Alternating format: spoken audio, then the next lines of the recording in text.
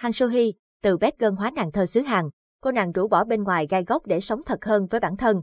Han Sohee nổi bật với nét quyến rũ và nhan sắc thu hút, trái với ngoại hình mong manh, cô nàng có một tuổi thơ khá khó khăn. Bố mẹ ly hôn từ khi còn nhỏ, cô sống trong tình thương của bà.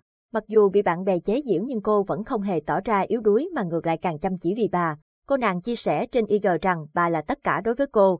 Cô gái nhỏ nhắn để theo đuổi ước mơ đã một mình lặn lội lên Seoul năm 17 tuổi chỉ với 300.000 quân, vừa kiếm tiền vừa theo học các lớp diễn xuất.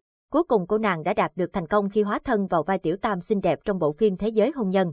Thế nhưng mọi khó khăn lại đổ lên đôi vai nhỏ bé của Han So-hee, người mẹ đã từng bỏ rơi cô, lợi dụng tên tuổi của cô để vay tiền của nhiều người. Cô nàng lại thêm khốn đốn khi lại còng lưng trả nợ cho mẹ vì máu mũ ruột già. Thậm chí người mẹ đó của Han So-hee bị kiện vì tội lừa đảo. Cô quyết định sẽ không trả nợ cho bà nữa. Trước khi ra mắt, cô nàng từng có thời gian khá nổi loạn.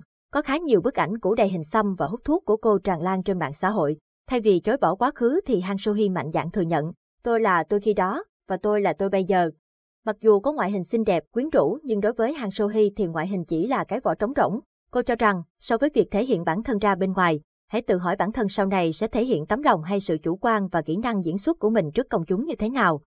Và cô nàng cũng đã cho công chúng thấy sự chăm chỉ của mình khi có sự biến hóa đa dạng trong các vai diễn.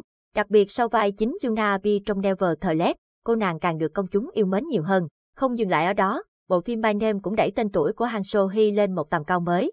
Mới đây nhất, sự góp mặt của Han So-hee trong MV Seven của Jungkook, BTS nhận được sự chú ý của đông đảo fan hâm mộ. Bên cạnh những ý kiến trái chiều, không mấy tích cực từ số ít người hâm mộ của Jungkook thì đa phần mọi người đều khen ngợi khả năng diễn xuất cùng nhan sắc của Han So-hee. Cái tên Han So-hee đậm nét ác thơ tích khiến nhiều người bị mê hoặc, cô nàng tỏa ra cái chất nghệ thuật rất riêng, độc lập trong suy nghĩ. Cô cũng chia sẻ rằng bản thân khá cứng đầu, không thích thì sẽ không làm. Nét tính cách này đôi khi sẽ khó hòa hợp với mọi người nhưng nó lại là màu sắc riêng biệt của Han So-hee. Có thể thấy nàng So-hee như một đóa hoa dại, vương mình mạnh mẽ, nhìn mong manh nhưng lại không dễ bị quật ngã. Cô cũng mang tới một hình ảnh lạc quan và lối cư xử dễ mến ngoài đời thực. Nhiều người khá bất ngờ vì ngoài hình ảnh lạnh lùng, cô nàng có những phút giây bộc lộ sự đáng yêu, thân thiện của mình qua những khung hình say xỉn hay đòi bỏ rượu trên IG.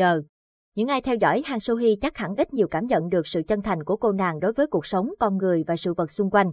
Cô từng nói chỉ cần không đi chạch khỏi phạm vi luân thường đạo lý, thì cô muốn thể hiện bản thân một cách tự do, thích mặc gì, thích ăn gì. Han So-hee cho rằng thay vì cố tình quản lý hay che đậy một hình ảnh nào đó thì tốt hơn hết hãy để mọi người nhìn thấy nhiều hơn về cô ấy, dù cô nàng có ngoại hình hay diễn xuất. Cho dù có nhiều hình ảnh không đẹp như công chúng nghĩ, cô vẫn muốn chia sẻ với mọi người những khía cạnh ít được biết đến của bản thân.